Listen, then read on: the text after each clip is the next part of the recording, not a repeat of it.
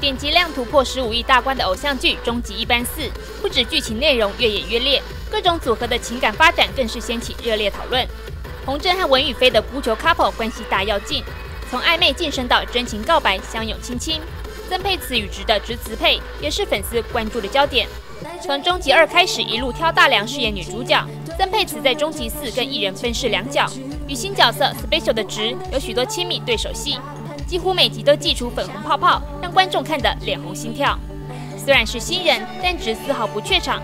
其中一场霸气吻戏，在半夜爬窗进房间的他，一把抓住曾沛慈，深情地说：“不准退开。”接着就把脸凑上去，一手撑住曾沛慈的头，主动亲吻女方。结束后，曾沛慈瞪大双眼，一脸不敢置信。其实，在吻戏之前，两人就有床动的桥段，只是在排练扑倒动作时，直的嘴角不小心亲到曾沛慈的额头。